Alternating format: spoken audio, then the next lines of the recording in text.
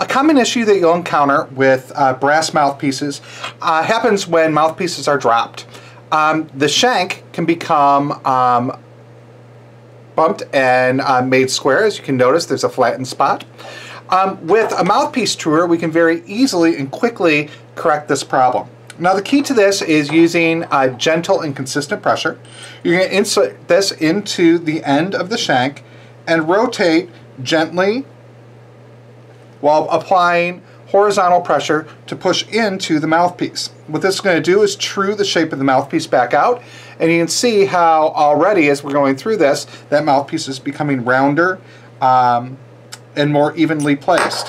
When I remove that we can see that already uh, that mouthpiece is straighter than it was before. We can return and do that again and we continue this process until that mouthpiece is 100% round again. Uh, that's going to allow it to enter into the receiver of the trumpet more evenly uh, without damaging the receiver and without getting stuck in the instrument.